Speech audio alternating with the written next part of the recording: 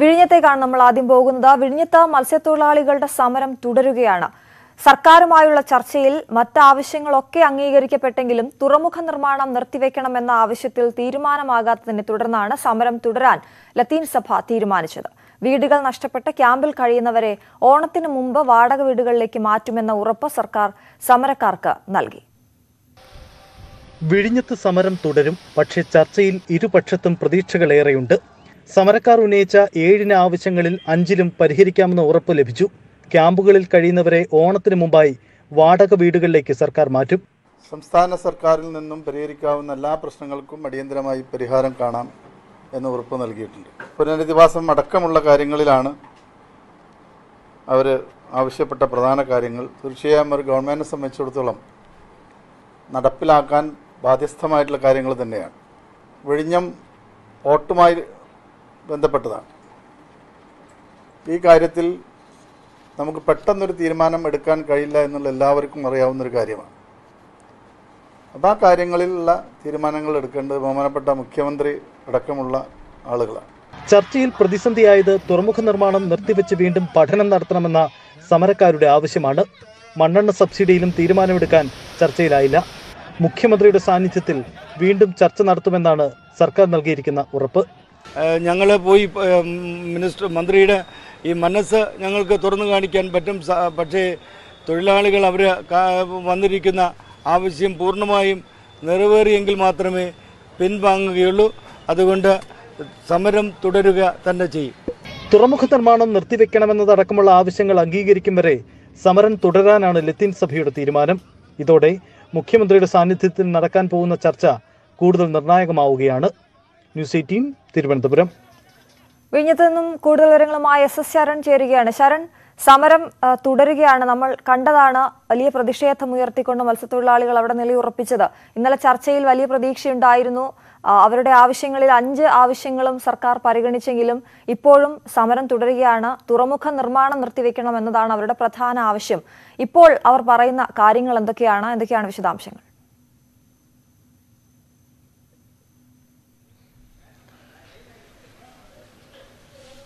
ആം, അശ്വതി അതായത് ലത്തിൻ അതിരൂപതയുടെ സമരം തുടരുമെന്നുള്ളത് തന്നെയാണ് ഇന്നലെ ചർച്ചയ്ക്ക് ശേഷം പ്രതിനിധികൾ വ്യക്തമാക്കിയിരുന്നത്. അതായത് അശ്വതി സൂചിപ്പിച്ച പോലെ തന്നെ പ്രധാനപ്പെട്ട ഏഴ് ആവശ്യങ്ങളാണ് അവർ ഇന്നലെ മുന്നോട്ട് വെച്ചിരുന്നത്. ഫിഷറീസ് മന്ത്രിയുമായിട്ടാണ് ചർച്ച നടത്തിയിരുന്നത്. അപ്പോഴാണ് ഈ ഏഴ് ആവശ്യങ്ങൾ മുന്നോട്ട് വെച്ചിരുന്നത്. ഇതിൽ അഞ്ച് ആവശ്യങ്ങളിലും സർക്കാരിന്റെ അനുകൂല തീരുമാനം ഉണ്ടായ ഒരു സാഹചര്യമാണ് ഉള്ളത്. എന്നാൽ മറ്റ് രണ്ട് ആവശ്യങ്ങൾ. അതിൽ പ്രധാനപ്പെട്ടായിട്ട് പറയാനുള്ളത് തുറമുഖ നിർമ്മാണം നിർത്തിവെച്ചുകൊണ്ട് സാമൂഹ്യ ആഘാത പഠനം നടത്തണം. ഇതോടൊപ്പം തന്നെ മണ്ണെണ്ണ സബ്സിഡി സംബന്ധിച്ചുള്ള കാര്യങ്ങൾ. ഇതിൽ രണ്ടിലും തീരുമാനമുണ്ടായില്ല. മറിച്ച് മുഖ്യമന്ത്രിയുമായി ഇത് സംബന്ധിച്ച് ചർച്ച നടത്താമെന്ന ഉറപ്പാണ് ഫിഷറീസ് മന്ത്രി നൽകിയിട്ടുള്ളത്. അതുകൊണ്ട് തന്നെയാണ് ഇനി മുഖ്യമന്ത്രിയുമായിട്ടുള്ള നടക്കുന്ന ചർച്ച അത് വളരെ നിർണായകമായി മാറുകയും ചെയ്യുന്നത്. ഈ ഏഴ് ആവശ്യങ്ങളിൽ ഏറ്റവും പ്രധാനപ്പെട്ടതായിട്ട് തുടക്കം മുതൽ തന്നെ ലത്തിൻ അതിരൂപത മുന്നോട്ട് വെച്ചിരുന്ന കാര്യമാണ് ഈ തുറമുഖ നിർമ്മാണം നിർത്തിവെച്ചുകൊണ്ടുള്ള സാമൂഹ്യ ആഘാത പഠനം. എന്നാൽ അതിന്റെ ഒരു പ്രായോഗികത സംബന്ധിച്ച് ഇപ്പോഴും ആ സർക്കാരിന് ആശയക്കുഴപ്പമുണ്ട്. അതുകൊണ്ടാണ് ആദ്യഘട്ടത്തിൽ ചർച്ചയിൽ തന്നെ ഇത് തീരുമാനമെടുക്കാൻ കഴിയില്ല. മറിച്ച് വിശദമായ ചർച്ചകൾ ഇനിയും വേണം. അതിന് മുഖ്യമന്ത്രിയുടെ സാന്നിധ്യത്തിൽ തന്നെയുള്ള ചർച്ചകൾ അനിവാര്യമാണെന്നുള്ള നിലപാടിലേക്ക് ഫിഷറീസ് മന്ത്രി എത്തുകയും ചെയ്തിരിക്കുന്നത്. മറ്റ് പ്രധാനപ്പെട്ട അഞ്ച് ആവശ്യങ്ങൾ നമുക്കറിയാം. അതിൽ ദുരിതാശ്വാസ ക്യാമ്പുകളിൽ ഈ മത്സ്യത്തൊഴിലാളി കുടുംബങ്ങൾ നേരിട്ടിരുന്ന ദുരവസ്ഥ. അത് നമ്മൾ ക്യാമ്പയിനിലൂടെ അടക്കം പ്രേക്ഷകരുടെ ശ്രദ്ധയിൽ പെടുത്തിയിരുന്ന കാര്യമാണ്. അങ്ങനെ ആ ദുരവസ്ഥയ്ക്ക് അടക്കം പരിഹാരം കാണാനുള്ള നടപടികൾ. അത് ഉണ്ടാകുമെന്നുള്ള ഉറപ്പ് ഇന്നലത്തെ ചർച്ചയിൽ ഫിഷറീസ് മന്ത്രി നൽകിയിരുന്നതാണ്. ദുരിതാശ്വാസ ക്യാമ്പുകളിൽ കഴിയുന്ന ആളുകളെ ഓണത്തിന് മുൻപ് വാടക വീടുകളിലേക്ക് മാറ്റാനുള്ള നടപടികൾ സ്വീകരിക്കും എന്നടക്കമുള്ള അഞ്ച് ആവശ്യങ്ങളിൽ ഉറപ്പ് നൽകിയിട്ടുണ്ട്. ഏതായാലും ഈ തുറമുഖ നിർമ്മാണം നിർത്തിവെച്ച് സാമൂഹ്യ ആഘാത പഠനം നടത്തുന്നതുവരെ അതായത് അവരുടെ പ്രധാനപ്പെട്ട ആവശ്യം നടപ്പിലാവുന്നത് വരെ വിഴിഞ്ഞ സമരം തുടരുമെന്നുള്ളത് തന്നെയാണ് ലത്തിൻ അതിരൂപത സ്വീകരിച്ചിരിക്കുന്ന നിലപാട്.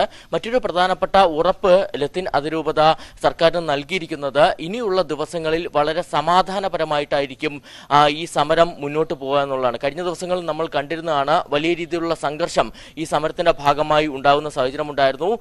ഇന്നലെ ഈ സമരം നടത്തിയിരുന്നവർ തന്നെ മത്സ്യത്തൊഴിലാളികൾ ഈ തുറമുഖ നിർമ്മാണം നടക്കുന്ന സ്ഥലത്തേക്ക് കയറുകയും അവിടെ എത്തിയുള്ള വലിയ പ്രതിഷേധമടക്കം മത്സ്യത്തൊഴിലാളികളുടെ ഭാഗത്തു നിന്ന് ഉണ്ടാവുകയും ചെയ്തിട്ടുണ്ട്. അതുകൊണ്ട് തന്നെ ലത്തിൻ അതിരൂപത നൽകിയിരിക്കുന്ന ഉറപ്പ് ഇനിയുള്ള ദിവസങ്ങളിൽ വളരെ സമാധാനപരമായിട്ടായിരിക്കും സമരം മുന്നോട്ട് പോകാമെന്നുള്ളതാണ് ഏതായാലും ലത്തിൻ അതിരൂപത ആദ്യഘട്ട ചർച്ച പൂർത്തിയാകുമ്പോൾ വലിയ പ്രതീക്ഷയാണ് വച്ചിരിക്കുന്നത്. കാരണം നേരത്തെ നമുക്കറിയാം ദിവസങ്ങളോളം സെക്രട്ടേറിയറ്റിന് മുന്നിലും മറ്റു രീതിയിലൊക്കെ സമരം നടത്തിയിട്ടും സർക്കാരിന്റെ അനുകൂല തീരുമാനമോ അല്ലെങ്കിൽ അനുകൂല സമീപനമോ ഇവരുടെ ആവശ്യങ്ങളോട് വരാത്തൊരു സാഹചര്യമായിരുന്നു. എന്നാൽ ഇന്നലെ സർക്കാർ തന്നെ മുൻകൈ മുൻകൈയെടുത്ത് ചർച്ചയ്ക്ക് വിളിക്കുന്നു. ഫിഷേഴ്സ് മന്ത്രിയുടെ സാന്നിധ്യത്തിൽ ചർച്ച നടക്കുന്നു. അതിൽ തന്നെ അഞ്ച് ആവശ്യങ്ങൾ നടപ്പിലാക്കാമെന്നുള്ള ഉറപ്പ് മന്ത്രിയുടെ ഭാഗത്തു നിന്ന് ഉണ്ടായിട്ടുണ്ട്. അതുകൊണ്ട് തന്നെ ലത്തിൻ അരു അതിരൂപതയും വലിയ പ്രതീക്ഷയിലാണ് ഉള്ളത്. സ്വാഭാവികമായിട്ടും അടുത്തിനി മന്ത്രിസഭാ ഉപസമിതി യോഗം അത് വൈകാതെ ചേരുമെന്നുള്ളതാണ് നമ്മൾ മനസ്സിലാക്കുന്നത്. അതിനൊപ്പം തന്നെയാണ് മുഖ്യമന്ത്രിയുടെ സാന്നിധ്യത്തിൽ നടക്കുന്ന ചർച്ച. ഈ മുഖ്യമന്ത്രിയുടെ സാന്നിധ്യത്തിൽ നടക്കുന്ന ചർച്ചയിലും വലിയ പ്രതീക്ഷ തന്നെയാണ് ലത്തിൻ അതിരൂപത മുന്നോട്ട് വയ്ക്കുന്നത്. ശരൺ ശരൺ സൂചിപ്പിച്ചതുപോലെ സമരത്തിന്റെ ഒരു രീതിയിലേക്ക് കടക്കുമ്പോൾ അവർ ആദ്യ ദിവസം തന്നെ വളരെ കൃത്യമായ ആസൂത്രണത്തോടെ എത്തി പല ഇടവകളിൽ നിന്നായി ഒന്നോ രണ്ടോ ദിവസങ്ങളിൽ ഒന്നോ രണ്ടോ ഇടവകകൾ വെച്ചുകൊണ്ട് കൂടുതൽ ആളുകളെ അങ്ങോട്ടേക്ക് എത്തിച്ചുകൊണ്ടുള്ള ഒരു സമര രീതി അവർ തുടരുന്നിരുന്നു. ഈ പറഞ്ഞതുപോലെ അന്നൊന്നും സർക്കാർ ചർച്ചയ്ക്ക് വിളിക്കുകയോ ആരുടെയും ഭാഗത്ത് നിന്ന് അധികാരികളുടെ ഭാഗത്തു നിന്ന് ഒരു അറിയിപ്പൊന്നും ഉണ്ടായില്ല എന്ന് പറഞ്ഞുകൊണ്ടാണ് അവർ ഈ പോർട്ടിനകത്ത് പിന്നെ ഷിപ്പ് പിന്നെ ഷിപ്പ്യാർഡിനകത്തേക്കൊക്കെ കയറാനുള്ള ഒരു നിർമ്മാണ സ്ഥലത്തേക്കൊക്കെ കയറാനുള്ള ഒരു ശ്രമം നടത്തുകയും അതേസമയം വലിയ പോലീസ് സന്നാഹം ഉണ്ടായിരുന്നെങ്കിൽ ഒരു അക്രമ സംഭവം പോലും ഉണ്ടായിരുന്നില്ല എന്നുള്ളത് ഈ സമരത്തിന്റെ ഒരു പ്രത്യേകതയാണ്. ഇനി കൂടുതൽ സമാധാനപരമായി ഈ ബാരിക്കേഡുകളൊന്നും മറിച്ചിടാതെയുള്ള ഒരു സമരം അതാണ് നമ്മൾ ഇനി വിഴിഞ്ഞത്ത് പ്രതീക്ഷിക്കേണ്ടത്.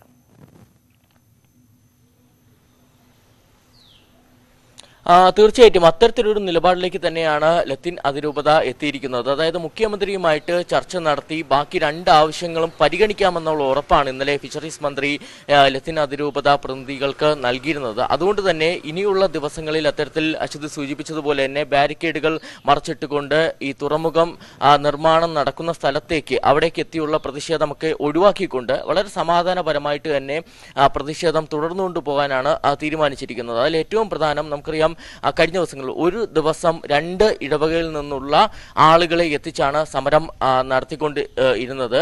അത്തരത്തിൽ ഓരോ ദിവസവും രണ്ട് ഇടവകയിൽ നിന്നുള്ള ആളുകളെ അല്ലെങ്കിൽ മത്സ്യത്തൊഴിലാളികളെ അടക്കം എത്തിച്ചുകൊണ്ടുള്ള സമരം. ആ സമരം തുടരും. പക്ഷേ അതിനെ ഒരു സംഘർഷാവസ്ഥ അല്ലെങ്കിൽ ആ ഒരു നിലയിലേക്ക് കാര്യങ്ങൾ പോകാതെ ജാഗ്രതയോടെ കാര്യങ്ങൾ കൈകാര്യം ചെയ്യുമെന്നുള്ള ഉറപ്പാണ് ലത്തിൻ അതിരൂപത പ്രതിനിധികൾ ഇന്നലെ മന്ത്രിക്ക് നൽകിയിരുന്നത്. സർക്കാരും അതിൽ വലിയ പ്രതീക്ഷയാണ്. ഇതോടൊപ്പം തന്നെയാണ് ലത്തിൻ അതിരൂപതയും മത്സ്യത്തൊഴിലാളികളും ആദ്യഘട്ട ചർച്ചയ്ക്ക് ശേഷം ആ വലിയ പ്രതീക്ഷ സർക്കാരിൽ വച്ചു പുലർത്തുന്നത്. നേരത്തെ ആ നിരന്തരം വലിയ രീതിയിലുള്ള സമരം പ്രത്യേകിച്ച് നമ്മുടെ ക്യാമ്പയിൻ കഴിഞ്ഞതിന് ശേഷം വലിയ രീതിയിലുള്ള സമര പരമ്പരകൾക്ക് സെക്രട്ടേറിയറ്റ് പരിസരം അടക്കം സാക്ഷ്യം വഹിച്ചിരുന്നതാണ്. അതിനുശേഷമുള്ള ഈ സമരം ഇനി സംഘർഷാവസ്ഥയിലേക്ക് കടക്കാതെ പരമാവധി ജാഗ്രതയോടെ മുന്നോട്ട് പോകും എന്നുള്ള ഉറപ്പ് നൽകിയിട്ടുണ്ട്.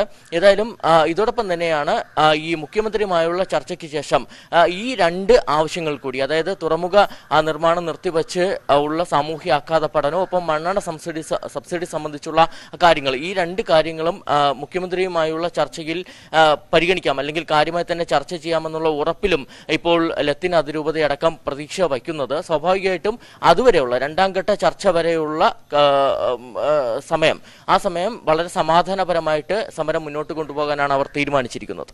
ശരൺ അതുപോലെ സർക്കാരിന്റെ മുമ്പിലുള്ള ഇനിയുള്ള വഴി എന്താണ്? കാരണം ഇത്തരത്തിൽ സമരം തുടരുകയാണ് എന്ന് പറയുമ്പോൾ പാരിസ്ഥിതിക ആഘാത പഠനം നടത്തണം അല്ലെങ്കിൽ നിർമ്മാണ പ്രവർത്തനം നിർത്തിവെക്കണമെന്ന് പറയുമ്പോൾ അത് ഒരിക്കലും സാധ്യമായ ഒരു കാര്യം നിലവിലെ അവസ്ഥയിൽ സർക്കാരിന് സാധ്യമായ ഒരു കാര്യമാണോ?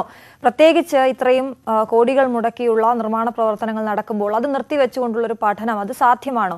ഒന്ന് രണ്ട് ഈ അവർക്ക് ചെയ്യാൻ പറ്റുന്ന നേരത്തെ ഈ സമര സമരവുമായി ഇവർ എത്തുന്നതിന് മുൻപ് തന്നെ പ്രഖ്യാപിച്ച അവർക്ക് പ്രഖ്യാപിച്ച ആനുകൂല്യങ്ങളും അവർക്ക് പ്രഖ്യാപിച്ച പദ്ധതികളും ഒന്നും നടപ്പിലാകാത്തതുകൊണ്ടാണ് അവർ സമരരംഗത്തേക്ക് വന്നത്. ഈ സമരരംഗത്തേക്ക് എത്തിയപ്പോൾ ഓണത്തിന് മുൻപ് വാടക വീടുകളിലേക്ക് അവരെ മാറ്റാമെന്ന് പറയുന്നു. നമ്മൾ തന്നെ നേരത്തെ റിപ്പോർട്ട് ചെയ്തതാണ് കൈക്കുഞ്ഞുങ്ങളുമായൊക്കെ നാല് വർഷമായി ദുരിതാശ്വാസ ക്യാമ്പുകളിൽ കഴിയുന്നവരുണ്ട്. അപ്പോൾ അവർ ഈ സമരരംഗത്തേക്ക് എത്തിയപ്പോൾ ആ, അവരെ അങ്ങോട്ടേക്ക് മാറ്റിപ്പാർപ്പിക്കാം അല്ലെങ്കിൽ അവർക്ക് അനുകൂലമായ ഒരു നടപടിയിലേക്ക് വരുമ്പോൾ അവർ കൂടുതൽ ഈ സമരവുമായി മുന്നോട്ട് പോവുകയാണെങ്കിൽ സർക്കാർ പ്രതിരോധത്തിലാവുകയില്ലേ?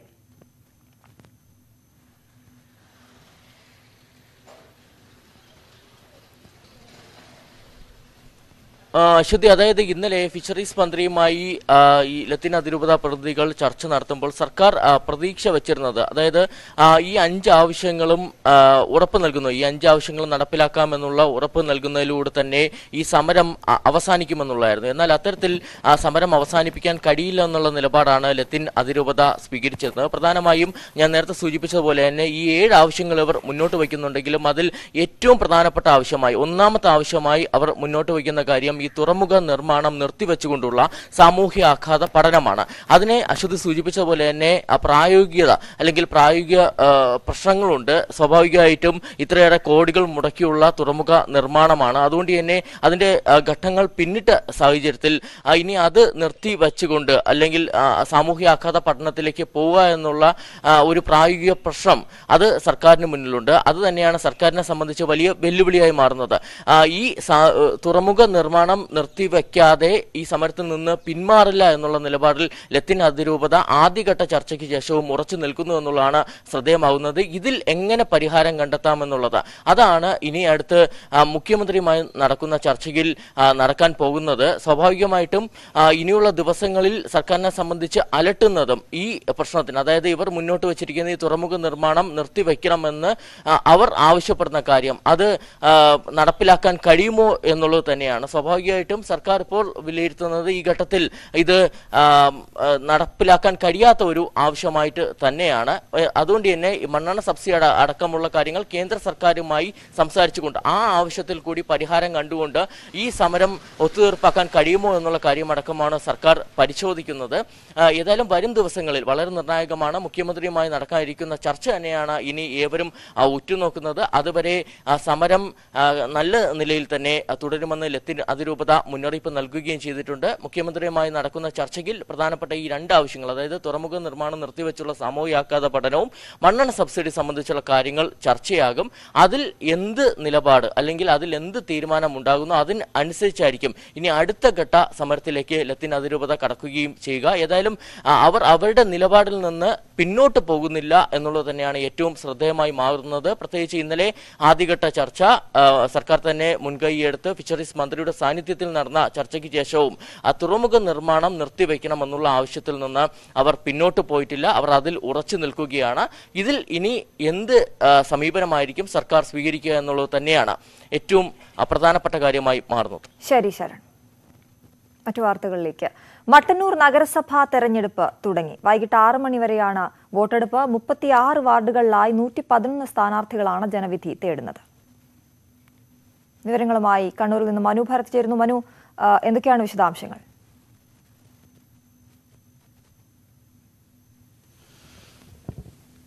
മട്ടന്നൂരിൽ തെരഞ്ഞെടുപ്പ് ആരംഭിച്ചിരിക്കുന്നു. രാവിലെ ഏഴ് മണിക്ക് തന്നെ തിരഞ്ഞെടുപ്പ് എല്ലാ ബൂത്തുകളിലും മുപ്പത്തഞ്ച് ബൂത്തുകളിലും ആരംഭിച്ചിരിക്കുകയാണ്.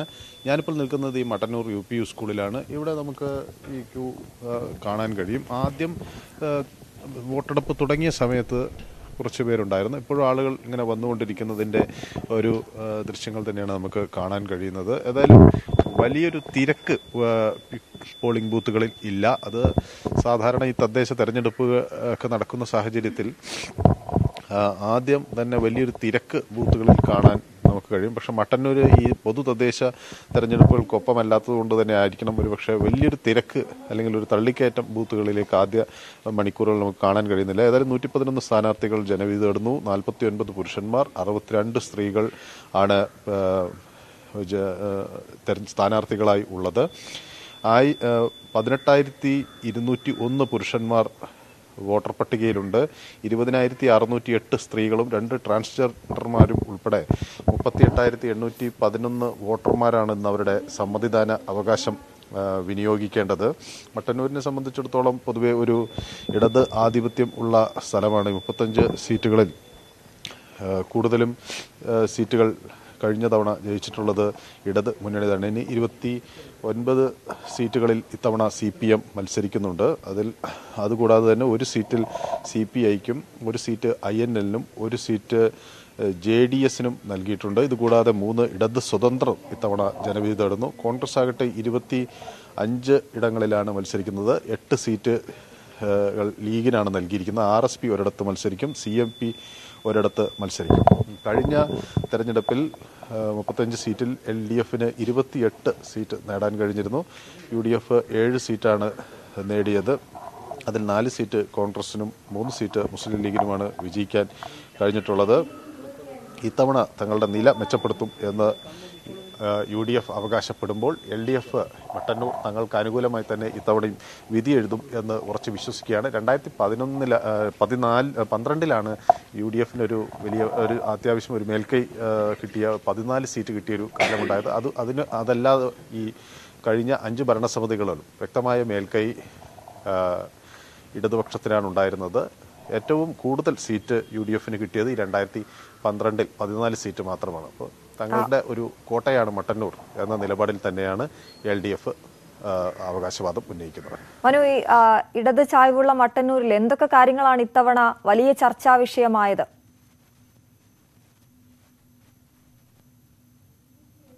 മട്ടന്നൂരിൽ പൊതുവെ സംസ്ഥാന ഭരണം വിലയിരുത്തുന്ന ഒരു ഈ ചർച്ചകൾ തന്നെയാണ് ഉണ്ടായത്. പൊതുവേ മട്ടന്നൂരിന്റെ വികസനവും വലിയൊരു വിഷയ വിഷയമായി. കാരണം മട്ടന്നൂരിനെ സംബന്ധിച്ചിടത്തോളം നഗരത്തിലെ ഗതാഗത കുരുക്കും അതുപോലെ ഇവിടെയുള്ള കുടിവെള്ള പ്രശ്നങ്ങളും ഒപ്പം തന്നെ ഈ എയർപോർട്ടുമായി ബന്ധപ്പെട്ടുള്ള വികസനങ്ങളും അത്തരം വികസന സംബന്ധമായ ഒട്ടനവധി വിഷയങ്ങൾ മട്ടന്നൂർ തെരഞ്ഞെടുപ്പിന്റെ ഭാഗമായി ചർച്ചയായി.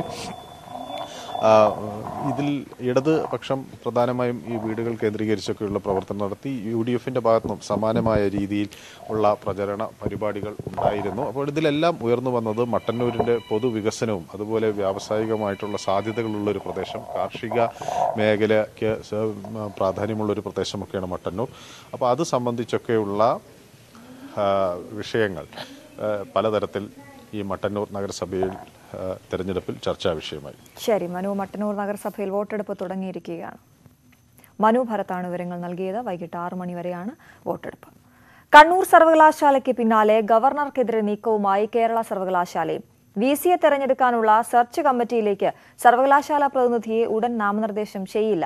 ഏകപക്ഷീയമായി സെർച്ച് കമ്മിറ്റി രൂപീകരിച്ചതിൽ ഗവർണർക്കെതിരെ നിയമ നടപടി സ്വീകരിക്കുന്നതും സർവകലാശാലയുടെ പരിഗണനയിലുണ്ട്. ഇക്കാര്യങ്ങൾ ഇന്ന് ചേരുന്ന സെനറ്റ് യോഗം ചർച്ച ചെയ്യും.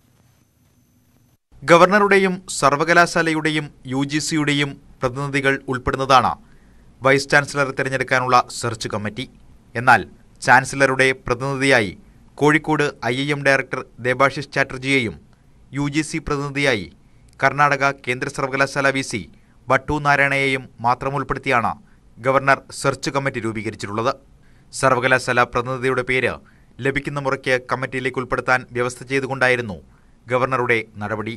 ചാൻസലർ എന്ന നിലയിലുള്ള ഗവർണറുടെ അധികാരം വെട്ടിക്കുറയ്ക്കാനുള്ള സർക്കാരിന്റെ നിയമ ഭേദഗതി നീക്കത്തിന് പിന്നാലെയായിരുന്നു ഇത്.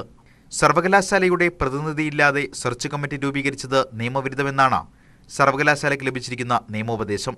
അതിനാൽ പുതിയ സെർച്ച് കമ്മിറ്റിക്ക് രൂപം നൽകണമെന്നാണ് സർവകലാശാലയുടെ ആവശ്യം. അതുവരെ സർവകലാശാല പ്രതിനിധിയെ സെർച്ച് കമ്മിറ്റിയിലേക്ക് നാമനിർദ്ദേശം ചെയ്യേണ്ടതില്ലെന്നാണ് തീരുമാനം.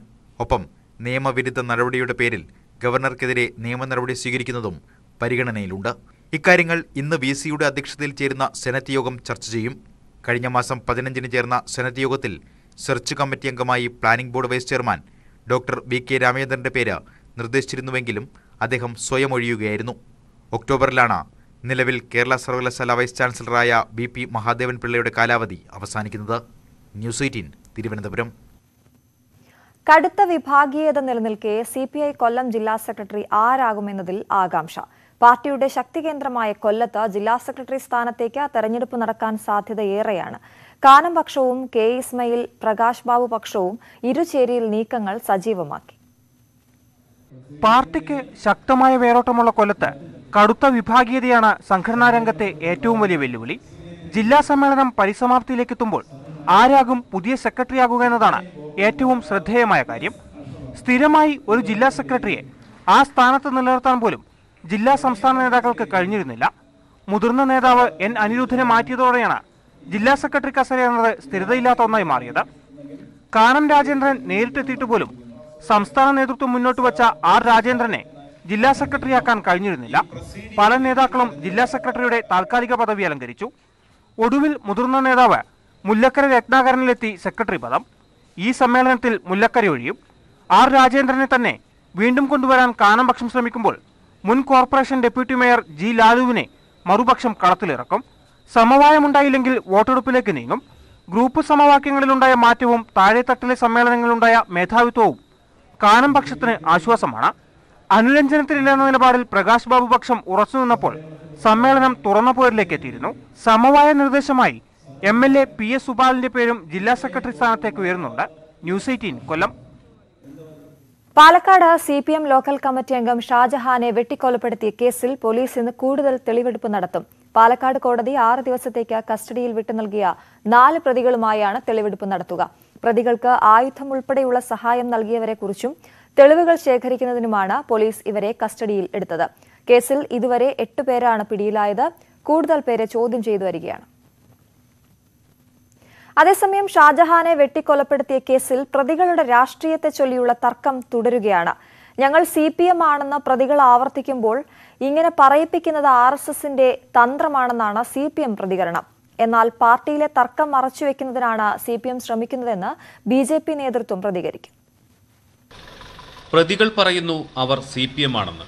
പോലീസിന്റെ കസ്റ്റഡി അപേക്ഷയിലും റിമാൻഡ് റിപ്പോർട്ടിലും പ്രതികൾ ബി ജെ പി അനുഭാവികളാണെന്നും വ്യക്തമാക്കുന്നു. പ്രതികൾ ഇപ്പോൾ ഏതെങ്കിലും പാർട്ടിയിൽ ഉള്ളവരാണോ? തർക്കം തുടരുകയാണ്.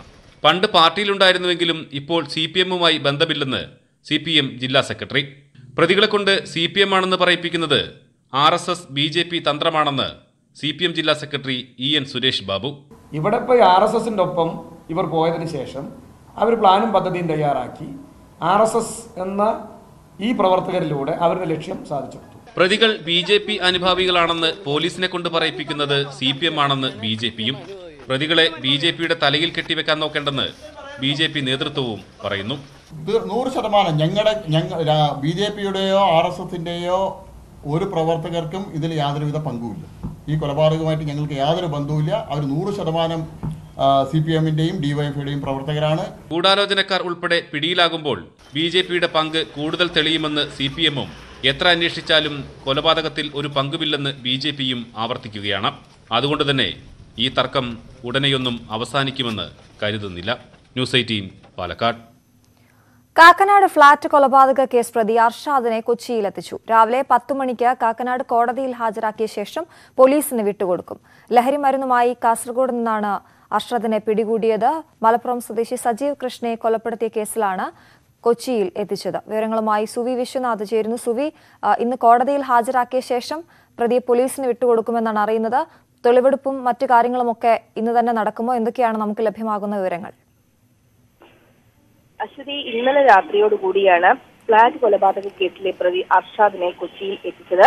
കൊച്ചി കോടതിയിലാണ് കൊച്ചിയിലെ കാക്കനാട് കോടതിയിലാണ് എത്തിച്ചിരിക്കുന്നത്. ഇന്ന് രാവിലെ പത്ത് മണിക്ക് ഇയാളെ കാക്കനാട് കോടതിയിൽ എത്തിക്കും. അതിനുശേഷം കാക്കനാട് കോടതിയാണ് ഈ കൊച്ചി പോലീസിന് ഈ പ്രതിയെ വിട്ടു നൽകുക. ഏതായാലും പ്രതിയെ കയ്യിൽ കിട്ടിയതിനു ശേഷം ചോദ്യം ചെയ്യലിന് ശേഷം മാത്രമേ തെളിവെടുപ്പിനായി കൊണ്ടുപോകൂ എന്നാണ് അന്വേഷണ ഉദ്യോഗസ്ഥർ പറയുന്നത്. കാരണം ഈ കേസിൽ അഫ്താബിന് പുറമെ മറ്റാരെങ്കിലും ഉണ്ടോ? ഈ കൊലപാതകത്തിന് ശേഷം ഈ മൃതദേഹം ആ, ആ, ആ, ആ, ഈ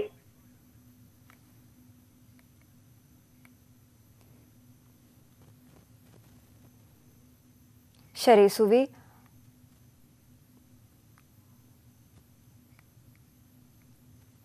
കൂടത്തായ് കൊലപാതക പരമ്പര കേസുകളിൽ പ്രതിഭാഗം നൽകിയ വിടുതൽ ഹർജികൾ കോടതി ഇന്ന് പരിഗണിക്കും.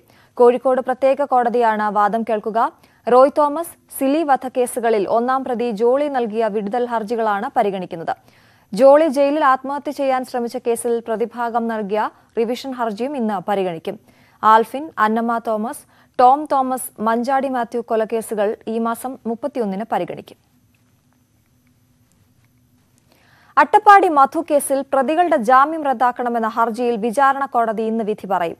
പ്രതികൾ ജാമ്യവ്യവസ്ഥ ലംഘിച്ച് സാക്ഷികളെ സ്വാധീനിക്കാൻ ശ്രമിച്ചുവെന്ന് വ്യക്തമാക്കിയാണ് special public prosecutor Rajesh M Menon Mannarkkad S C പ്രത്യേക കോടതിയിൽ ഹർജി നൽകിയത്. പ്രതികൾ സാക്ഷികളെ ഫോൺ വിളിച്ചതിന്റെ രേഖകൾ പ്രോസിക്യൂഷൻ കോടതിയിൽ ഹാജരാക്കിയിരുന്നു. എന്നാൽ സാക്ഷികളെ സ്വാധീനിക്കാൻ ശ്രമിച്ചിട്ടില്ല എന്നാണ് പ്രതിഭാഗത്തിന്റെ വാദം.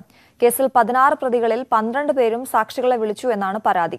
പതിമൂന്ന് സാക്ഷികളാണ് കേസിൽ ഇതുവരെ കൂറുമാറിയത്. കേസിൽ നിന്നും പിന്മാറണമെന്നാവശ്യപ്പെട്ട മധുവിന്റെ അമ്മയെയും സഹോദരിയെയും ഭീഷണിപ്പെടുത്തിയതിനെ തുടർന്ന് അറസ്റ്റിലായ മുക്കാലി സ്വദേശി ഷിഫാന്റെയും ജാമ്യാപേക്ഷയിലും കോടതി ഇന്ന് വിധി പറയും. കോഴിക്കോട് ആവിക്കൽ തോട്ടിലെ മലിനജല പ്ലാന്റിനെതിരായ സമരം ഏറ്റെടുത്ത് യു ഡി എഫ്. കേരയിലിനെ കെട്ടുകെട്ടിച്ചതുപോലെ ജനങ്ങൾക്ക് എതിരായ പദ്ധതിയെ പരാജയപ്പെടുത്തുമെന്ന് പ്രതിപക്ഷ നേതാവ് വി ഡി സതീശൻ പറഞ്ഞു. അതേസമയം പോലീസിനെതിരെ പരസ്യമായി ഭീഷണി മുഴക്കി ഡി സി സി പ്രസിഡന്റും രംഗത്തെത്തി. പ്ലാന്റ് മാറ്റുന്നതുവരെ സമരക്കാർക്കൊപ്പമുണ്ടാവുമെന്ന് ആവിക്കൽ തോട്ടിൽ സംഘടിപ്പിച്ച ഐക്യദാർഢ്യ സമ്മേളനത്തിൽ യു നേതാക്കൾ പ്രഖ്യാപിച്ചു. ജനകീയ സമരത്തെ ലാത്തികൊണ്ട് അടിച്ചമർത്താനാവില്ലെന്ന് പ്രതിപക്ഷ നേതാവ്. ഏത് സമരം നടത്തിയാലും അർബൻ നക്സലാണെന്നുള്ള ആരോപണം പുതിയ രീതിയാണ്. എന്ത് സമരം നടത്തിയാലും പറയും അപ്പൊ മാവോയിസ്റ്റുകളാണെന്ന് പറയും. പുതിയ പരിപാടിയാണ് മാവോയിസ്റ്റ്. ഏത് സമരം നടത്തിയാലും പറയും മാവോയിസ്റ്റുകളാണ് സമരത്തിൽ അർബൻ നക്സലൈറ്റ്സ് അല്ലേ? തീവ്രവാദികൾ അർബൻ നക്സലൈറ്റ്സ് മാവോയിസ്റ്റുകൾ. ആര് കേരളയിലെ സമരം നടത്തിയപ്പോഴും പറഞ്ഞു കേരളയിൽ സമരം നടത്തിയത് മാവോയിസ്റ്റുകളും അർബൻ നക്സലൈറ്റും ആണെങ്കിൽ ഞാൻ അർബൻ നക്സലൈറ്റും ഡോക്ടർ എം കെ മുനീർ മാവോയിസ്റ്റുമാണ്. സമരക്കാരെ നേരിട്ട പോലീസിനെതിരെ പരസ്യമായ ഭീഷണിയോടെയായിരുന്നു കോഴിക്കോട് ഡി സി സി പ്രസിഡന്റിന്റെ പ്രസംഗം. ഈ സമരത്തിൽ ഇവിടെ ലാത്തി പൊട്ടും വരെ അടിച്ച പോലീസുകാരുണ്ട്. അവന്റെ കുടുംബം നാട് ഒക്കെ ഞങ്ങൾ നോക്കി വെച്ചിട്ടുണ്ട്. ഇനി ഒറ്റക്കാരും പോലീസ് പറയാ. പരിപാവനമായ അശോക സ്തംഭങ്ങളുടെ തൊപ്പി ധരിച്ച് പിണറായിയുടെ എച്ചിപ്പട്ടിയുടെ പണിയെടുക്കാൻ വന്നാൽ ഇനി ജനം എന്താണ് നിങ്ങൾ അറിയും ജനങ്ങൾ തിങ്ങിപ്പാർക്കുന്ന പ്രദേശത്ത് പ്ലാന്റ് ഒരുവിധത്തിലും അനുവദിക്കില്ലെന്ന് പി കെ കുഞ്ഞാലിക്കുട്ടി. പിടിവാശി ഒഴിവാക്കി ചർച്ചയ്ക്ക് തയ്യാറാവണമെന്നും പകരം സ്ഥലം കാണിച്ചു കൊടുക്കാമെന്നും കുഞ്ഞാലിക്കുട്ടി പറഞ്ഞു. News eighteen Kozhikode. News eighteen good morning തുടരുന്നു. രക്തബന്ധമുള്ളവർ പോലും അവയവദാനത്തിന് മടിക്കുമ്പോൾ പാർട്ടി നേതാവിന് കരൾ പകുത്ത് നൽകിയ കഥയാണ് തിരുവനന്തപുരം കരകുളത്തെ ഡിവൈഎഫ്ഐ നേതാവിന് പറയാനുള്ളത്. പേരൂർക്കട ബ്ലോക്ക് കമ്മിറ്റി അംഗം എ വി പ്രിയങ്കയാണ് ത്യാഗത്തിന്റെ അസാധാരണ മാതൃകയായത്. C P M Peroorkada area secretary S S രാജലാലിന് ഇതിലൂടെ ലഭിച്ചത് പുതുജീവിതവും.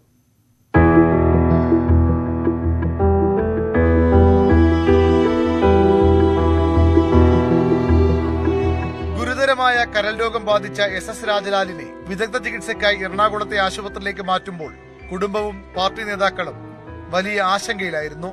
കരൽ മാറ്റിവെക്കുകയല്ലാതെ ജീവിതത്തിലേക്ക് മടക്കിക്കൊണ്ടുവരാൻ മറ്റൊരു വഴിയുമില്ലെന്ന് ഡോക്ടർമാർ പറഞ്ഞു.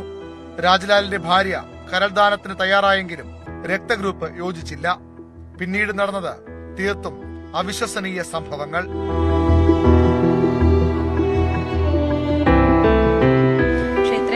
ആയിട്ടാണെന്ന് വിചാരിച്ചിട്ടൊന്നുമില്ലായിരുന്നു. ഒരു ദിവസം ഞാൻ അൺഎക്സ്പെക്റ്റഡ് ആയിട്ടാണ് കേൾക്കാൻ ഇടയായത്.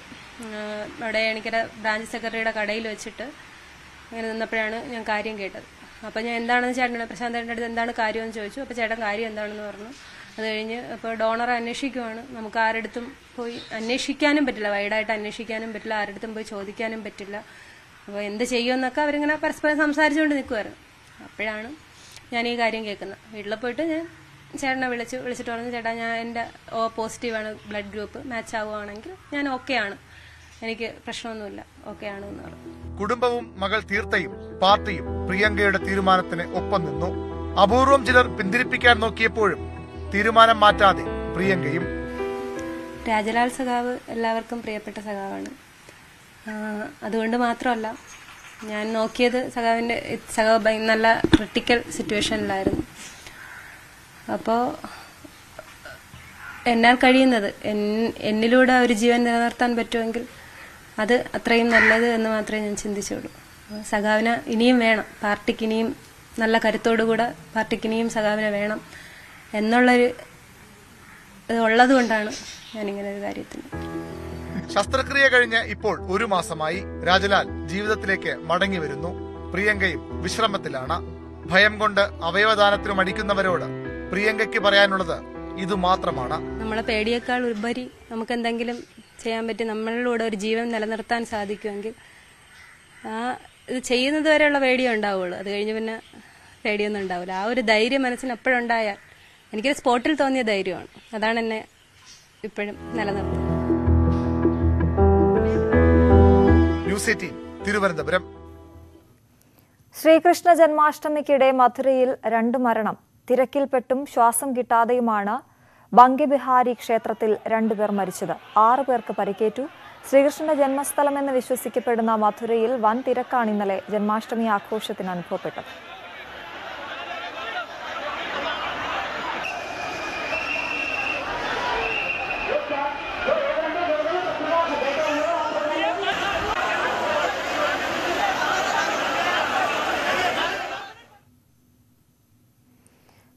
റെയ്ഡിന് പിന്നാലെ ഡൽഹി ഉപമുഖ്യമന്ത്രി മനീഷ് സിസോദിയയ്ക്കെതിരെ ഇ ഡി അന്വേഷണവും. സി ബി ഐയിൽ നിന്ന് എൻഫോഴ്സ്മെന്റ് ഡയറക്ടറേറ്റ് വിവരങ്ങൾ തേടിയിട്ടുണ്ട്. മദ്യനയത്തിൽ ക്രമക്കേട് ആരോപിച്ചാണ് മനീഷ് സിസോദിയയ്ക്കും പത്ത് മദ്യ ലൈസൻസികൾക്കും എതിരെ കേസെടുത്തത്. ചില ലൈസൻസികൾക്ക് വേണ്ടി മദ്യനയത്തിൽ മാറ്റം വരുത്തിയെന്നാണ് കേസ്. മദ്യനയത്തിലെ മാറ്റം വഴി എക്സൈസ് വകുപ്പിലെ ചില ഉദ്യോഗസ്ഥർക്കും സാമ്പത്തിക നേട്ടം ഉണ്ടായെന്ന കണ്ടെത്തലിനെ തുടർന്നാണ് ഇ ഡിയും കേസിൽ അന്വേഷണം ആരംഭിക്കുന്നത്.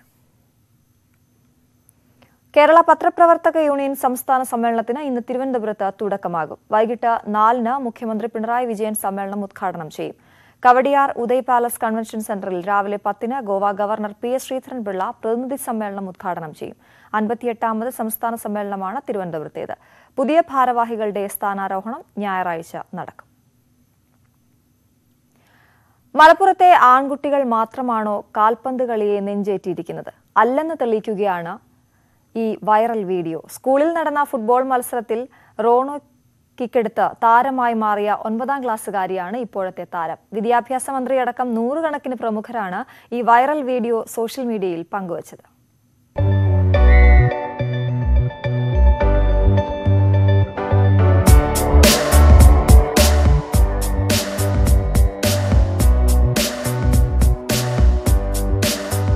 Malappuram Thirurkad A M H എസിലെ സ്വാതന്ത്ര്യദിനാഘോഷത്തിന്റെ ഭാഗമായുള്ള സൗഹൃദ ഫുട്ബോൾ മത്സരത്തിലാണ് ഈ വൈറൽ വീഡിയോയുടെ പിറവി.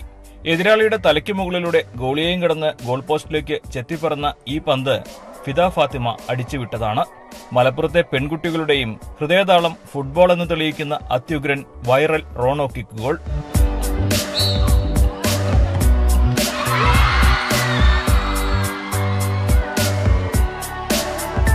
ഒരൊറ്റ കിക്കിനെ ഒരായിരം ആളുകൾ ഏറ്റെടുത്തു. രണ്ട് ദിവസം കൊണ്ട് ലക്ഷോപലക്ഷം മനുഷ്യരിലേക്ക് വൈറൽ കിക്ക് പറന്നെത്തി. കാൽപന്ത് കളിയെ ചെറുപ്പം മുതൽ ഇഷ്ടപ്പെടുന്ന ഫിതയ്ക്ക് ഇതിൽ പരം ഒരു സന്തോഷമില്ല. ഒരുപാട് സന്തോഷമുണ്ട്. സപ്പോർട്ട് ചെയ്ത മാനേജ്മെന്റിനും പി ടി എക്കും കോച്ചസ് സാറുമാർ പാരൻസ് ഫാമിലി മെമ്പേഴ്സ് എല്ലാവർക്കും ഫ്രണ്ട്സ് എല്ലാവർക്കും ആദ്യമായിട്ട് താങ്ക്സ് പറയണം. നന്ദിയുണ്ട്. ഈ വർഷം മുതലാണ് സ്കൂളിൽ പെൺകുട്ടികൾക്ക് ഫുട്ബോൾ പരിശീലനം ആരംഭിച്ചത്. കായികാധ്യാപകരായ സി എച്ച് ജാഫർ ഷമീൽ എന്നിവരുടെ നേതൃത്വത്തിലാണ് പരിശീലനം. ഞങ്ങളിവിടെ പരിശീലനം നടത്തുന്നത് ഓൾ ഇന്ത്യ ഫുട്ബോൾ ഫെഡറേഷന്റെ എട്ട് കോച്ചസ് ഉണ്ട്. സി ലൈസൻസ് കഴിഞ്ഞതും അതുപോലെ തന്നെ ഡി ലൈസൻസ് കഴിഞ്ഞതും. ഇവരുടെയൊക്കെ ഇവർ പറഞ്ഞാൽ പൂർവ വിദ്യാർത്ഥികളും കൂടിയാണ്. എ എം എസ് എസ് തിരുവുകാളിലെ പൂർവ വിദ്യാർത്ഥികളും കൂടിയാണ്. അവരുടെയൊക്കെ സഹായം ഉണ്ടായതുകൊണ്ടാണ് ഞങ്ങൾക്ക് ഈ ഒരു ക്യാമ്പ് നല്ല രീതിയിൽ മുന്നോട്ട് കൊണ്ടുപോകാൻ സാധിക്കുന്നത്.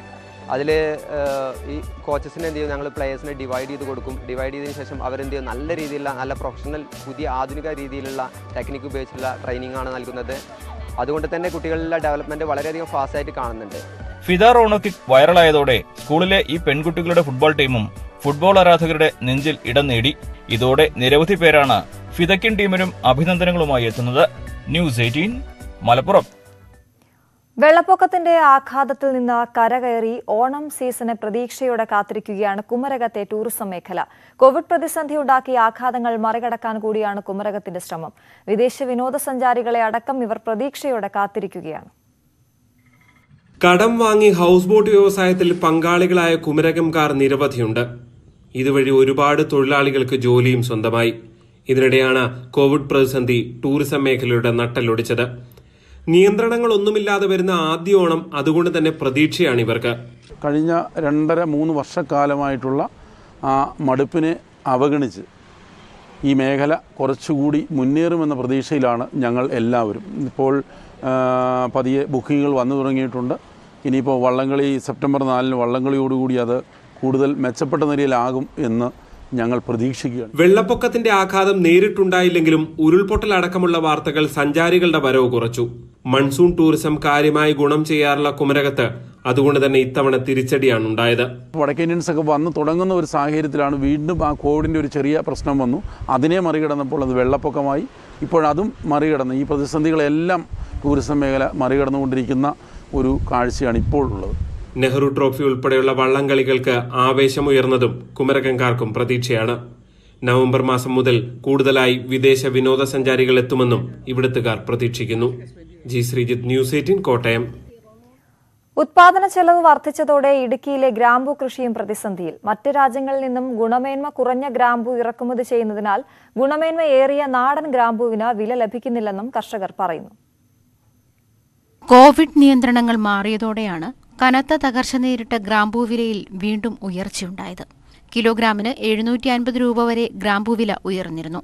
എന്നാൽ ശ്രീലങ്ക അടക്കമുള്ള രാജ്യങ്ങളിൽ നിന്നുള്ള ഗുണമേന്മ കുറഞ്ഞ ഗ്രാമ്പൂ വീണ്ടും വൻതോതിൽ ഇറക്കുമതി ചെയ്യാൻ ആരംഭിച്ചതോടെ വില നാനൂറ്റി അൻപത് രൂപയായി കുറഞ്ഞു. നിലവിലെ ഉൽപാദന ചെലവിന് ആനുപാതികമായി വില ലഭിക്കുന്നില്ല. കിലോയ്ക്ക് ആയിരം രൂപയെങ്കിലും വില ലഭിച്ചെങ്കിൽ മാത്രമേ കൃഷി ലാഭകരമാകൂ. വിലക്കുറവ് തീരെ വിലക്കുറവ് പണിച്ചെലവ് കൂടുതൽ മരുന്ന് മരുന്ന് വേണ്ടെന്ന് പറഞ്ഞാൽ നമ്മൾ ബോറോ മിശ്രം ആണ്ടിൽ രണ്ടു തവണ അയക്കണം.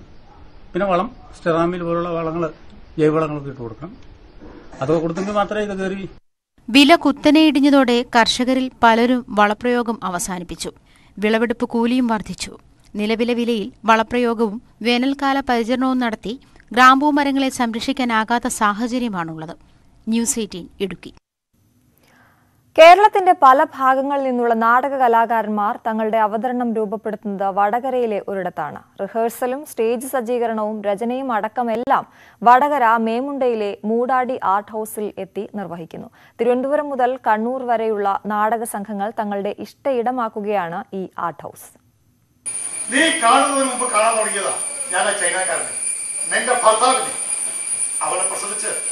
ആറ് മിനിറ്റും വടകരയിലെ മേമുണ്ട മഠം നാഗക്ഷേത്രത്തിന് സമീപമാണ് മൂടാടി ആർട്ട് ഹൌസ്. ചിത്രകാരനായ പ്രവീൺ ചന്ദ്രൻ മൂടാടി തന്റെ രചനയ്ക്കായി തിരഞ്ഞെടുത്ത സ്ഥലം. എഴുത്തിനും വരയ്ക്കും പറ്റിയ സ്ഥലമെന്ന കണ്ടെത്തലിൽ പല കലാകാരന്മാരും ഇവിടെ എത്തി. അതിനിടയിലാണ് ചില പ്രൊഫഷണൽ നാടക സംഘങ്ങൾ തങ്ങളുടെ പരിശീലനത്തിനും ഈ സ്ഥലം തിരഞ്ഞെടുത്തത്.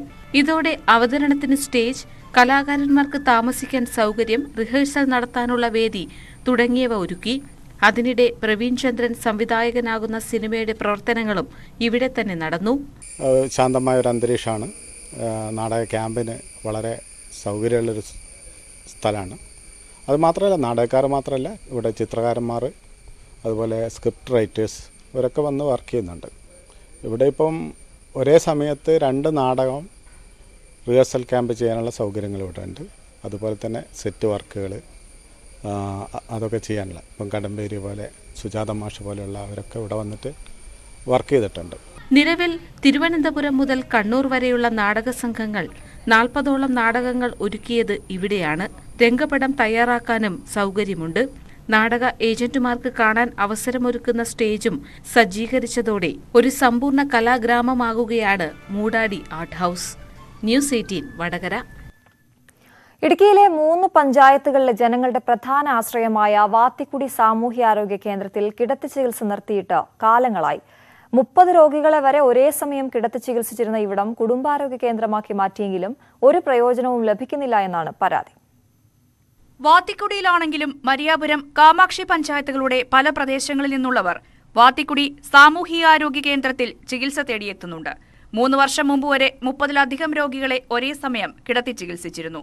ഒരു മുന്നറിയിപ്പുമില്ലാതെ രണ്ടായിരത്തി പത്തൊൻപത് മുതൽ ഇവിടെ കിടത്തി ചികിത്സ നടത്തി. പിന്നീട് കുടുംബാരോഗ്യ കേന്ദ്രമാക്കിയെങ്കിലും ഒരു പ്രയോജനവും ചികിത്സ തേടിയെത്തുന്നവർക്ക് ലഭിച്ചില്ല എന്നാണ് ആരോപണം. ആവശ്യത്തിന് ജീവനക്കാരോ മരുന്നോ മറ്റ് ഡോക്ടർമാരോ അനുബന്ധ സൗകര്യങ്ങളോ ഇല്ലാതെ ഈ നാട്ടിലെ ജനങ്ങൾ ചികിത്സയ്ക്കായി വലയുന്ന ഒരു സാഹചര്യമാണ് ഇപ്പോൾ നിലവിലുള്ളത്. വാത്തിക്കുടി കാമാക്ഷി മരിയാപുരം എന്നീ മൂന്ന് പഞ്ചായത്തുകളിലെ ആളുകൾക്ക് എത്തിച്ചേരാൻ പറ്റുന്ന ഒരു സ്ഥാപനം ഇന്ന് അതിന്റെ ഒരു ദുരവസ്ഥയിൽ കൂടി ആണ് കടന്നു പോകുന്നത്. വൈകിട്ട് ആറു മണിവരെ ഒ പി പ്രവർത്തിക്കുമെന്നായിരുന്നു പ്രഖ്യാപനം. ഇടുക്കി മെഡിക്കൽ കോളേജിന്റെ പ്രവർത്തനം പൂർണതോതിലാകുമ്പോൾ പ്രത്യേക നിരീക്ഷണ കേന്ദ്രമായി പ്രവർത്തിക്കേണ്ട ആശുപത്രികളിൽ ഒന്നാണ് വാത്തിക്കുടിയിലേത്. കിടത്തി ചികിത്സ ഒഴിവാക്കിക്കൊണ്ട് ആശുപത്രിയെ തരം താഴ്ത്തിയതോടെ ചുമതലക്കാരായ ഇടുക്കി ബ്ലോക്ക് പഞ്ചായത്തും കൈവിട്ടു. മെച്ചപ്പെട്ട സൗകര്യമുള്ള വാത്തിക്കുടി സാമൂഹ്യാരോഗ്യ കേന്ദ്രത്തിൽ അടിയന്തരമായി കിടത്തി ചികിത്സ പുനരാരംഭിക്കണമെന്നാണ് നാട്ടുകാരുടെ ആവശ്യം. News eighteen Idukki. കരാറുകാരന്റെ അനാസ്ഥയിൽ സഞ്ചരിക്കാൻ മാർഗമില്ലാതെ പത്തനംതിട്ടയിലെ കോന്നി കുപ്പക്കര നിവാസികൾ. നിലവിലെ റോഡ് പുനർനിർമ്മിക്കുന്നതിന്റെ ഭാഗമായി വെട്ടിപ്പൊളിച്ചതാണ് യാത്ര വഴിമുട്ടാൻ കാരണം. മൂന്ന് മാസം മുൻപ് ആരംഭിച്ച റോഡ് നിർമ്മാണം ഇപ്പോഴും പാതി വഴിയിലാണ്. ഒന്നര കോടി മുടക്കിയാണ് കോന്നി കുപ്പക്കര റോഡ് നവീകരണം തുടങ്ങിയത്. മൂന്ന് മാസം മുൻപാണ് പ്രവൃത്തി ആരംഭിച്ചത്. റോഡ് നവീകരണത്തിന്റെ ഭാഗമായി കരാറുകാരൻ റോഡ് വെട്ടിപ്പൊളിച്ചിട്ടതല്ലാതെ തുടർ നടപടികൾ ഉണ്ടായില്ല. ഇതോടെ മെറ്റലുകൾ ഇളകി കുണ്ടും കുഴിയും നിറഞ്ഞ റോഡ് സഞ്ചാരയോഗ്യമല്ലാതായി മാറി. അപകടങ്ങളും പതിവായി. ഞങ്ങളുടെ യാത്ര വന്ന സാറേ അങ്ങേ അറ്റത്തെ വഹാൻ ബുദ്ധിമുട്ടാണ് ഞങ്ങൾക്ക് ഈ റോഡ്. നടന്നു പോകാൻ പോലും പറ്റാത്ത ഒരു കണ്ടീഷനിലാണ് ഇന്ന് ഞാൻ നടന്നു പോയത് ഇന്ന് കൈ തട്ടി മറിഞ്ഞ് വീണ് എന്റെ കാലും പൊട്ടി കയ്യും പൊട്ടി എല്ലാം നാശമായിരിക്കുക. ഒരു രോഗം വന്നാൽ ഒരു ഓട്ടോ വിളിച്ചാൽ ഒരു ഓട്ടോക്കാർ ഒറ്റക്കുഞ്ഞു പോലും പറ്റത്തില്ല ഒരു രോഗം വന്ന് ഞങ്ങൾ എങ്ങനെ പോകും? ഒരു ഹോസ്പിറ്റൽ ഞങ്ങൾ എങ്ങനെ പോയി പറ്റും? അപ്പം അങ്ങനെ വലിയ ഞങ്ങൾ ഒരു വല്ലാത്ത ഒരു കണ്ടീഷനായിട്ട് കിടക്കുക. ഓട നിർമ്മാണം ഉൾപ്പെടെയുള്ള ജോലികൾ പൂർത്തിയാകുന്നതിന് മുൻപ് റോഡ് വെട്ടിപ്പൊളിച്ചതാണ്. യാത്രാമാർഗം തടസ്സപ്പെടാൻ കാരണം. ഇതുവഴി പോയി കഴിഞ്ഞാൽ എന്റെ ടയർ വണ്ടി എപ്പോഴും പണിയാണ്. കാരണം ഇത് അടിച്ചടിച്ച് അടിച്ച് അടിച്ച് അങ്ങ് എത്തുമ്പോൾ രണ്ട് മൂന്ന് പ്രാവശ്യം. കാരണം ഇവിടെ വീട് എന്റെ ഇതായതുകൊണ്ട് എപ്പോഴും വരികയും പോകും വേണം. വണ്ടിയും പോയി. തന്നെയല്ല ഓട്ടോകൾ അങ്ങനെ വരാറുമില്ല. മറ്റു വണ്ടികളും വളരെ ചുരുക്കമായി ഇപ്പോൾ കുപ്പക്കര നിവാസികൾക്ക് കോന്നിയിലെത്താനുള്ള എളുപ്പമാർഗമായ റോഡ് നവീകരണം കരാറുകാരൻ പൂർത്തിയാക്കാത്തതിൽ പ്രതിഷേധം ശക്തമാണ്. ഞങ്ങൾക്ക് ഈ ഒരൊറ്റ വഴിയേ ഉള്ളൂ പോവാൻ ഒരു ഓട്ടോ മരിക്കാൻ ഒരാൾ കടന്ന ഒരു ഓട്ടോ വിളിച്ചാൽ വരത്തില്ല. ഒരു വണ്ടി വിളിച്ചാൽ വരത്തില്ല. ഞങ്ങൾ എങ്ങനെ പോകും? ഭയങ്കര ദുർഘടമാണ് കരാറുകാരന്റെ അനാസ്ഥയിൽ നവീകരണ പ്രവൃത്തികൾ തടസ്സപ്പെട്ട സാഹചര്യത്തിൽ പ്രതിഷേധം സംഘടിപ്പിക്കാനുള്ള തീരുമാനത്തിലാണ് നാട്ടുകാർ. News eighteen Pathanamthitta. അശാസ്ത്രീയ പാർക്കിംഗ് കാരണം ബുദ്ധിമുട്ട് അനുഭവിക്കുകയാണ് തളിപ്പറമ്പിലെ ഓട്ടോറിക്ഷ തൊഴിലാളികൾ.